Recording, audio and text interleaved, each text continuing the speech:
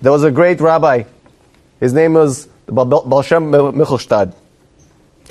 The Baal Shem Michelstadt, he was a child prodigy when he was a kid. He was a brilliant boy, very, very smart. And the king heard about this boy's brilliance, how smart he was. And he decided that he wants to test to see how smart this boy is. Now you can only think, you can only imagine how smart this kid is.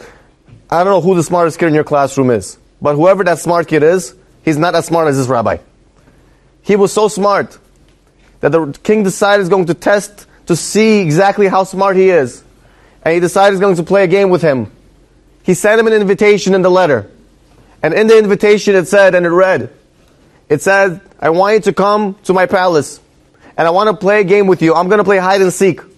I'm going to hide inside the palace. And I want you to come and find me. But there's a lot of rooms in the palace. Perhaps hundreds of rooms. And you only have about an hour to find me. Now, if you're going to go through every room in the palace, it's going to take you maybe even six hours, seven hours. And this boy has to find the king within one hour. And there's no telling of where he could possibly be. So the boy took up the challenge and he came to the palace and he sees this magnificent looking palace, beautiful, beautiful palace, hundreds of hundreds of windows. He doesn't know behind which window the king is hiding. And he looks around and all of a sudden he notices that one window was different from all the rest. He noticed that that shade by that window was closed while all the other shades were open. So he said it must be he's hiding behind those closed shades. He closed the shades so I don't find in that, within that window. And then he made the calculation. He said, okay, this window is on the third floor and it's on that side of the hallway. It must be it's over there in that part of the building, part of the palace. He goes inside the palace, makes his way to the third floor, makes a right, makes a left, finds the room, knocks on the door, and sure enough, the king is there. So the king was just mind, just, was just flabbergasted. He said, how did you find me? How did you know I was here? He says, it was very simple. I looked around, and I saw that all the windows had their shades closed.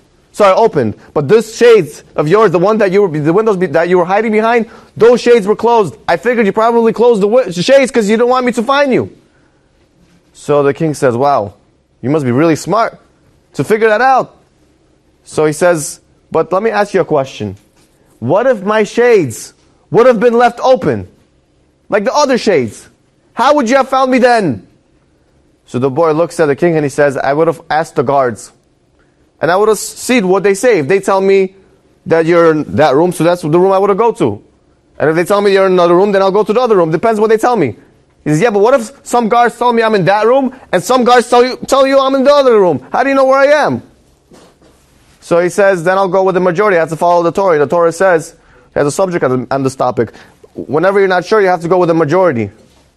And if the majority of the guards tell me that you're in that room, that's the room I'll go to. And if the majority tell me that you're in a different room, that's the room I'll go to. So the king looked at him and he says, Ah, if that's the case, that your Torah and your religion tells you that you have to go with the majority, then you have to convert to Christianity because the king was a Christian. And he says that if you want to go with majority and you want to follow the Torah, then you have to convert because the majority of the world is Christian.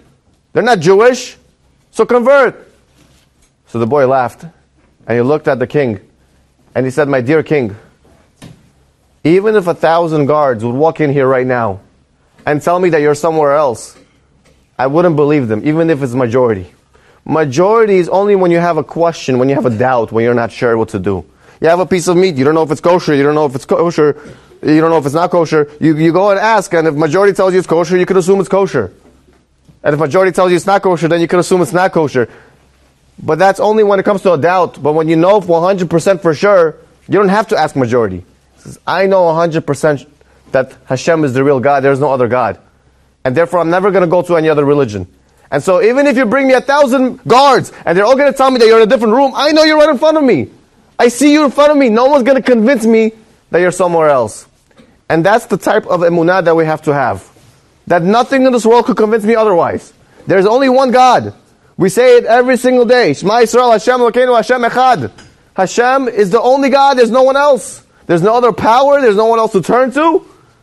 He's the greatest of the great.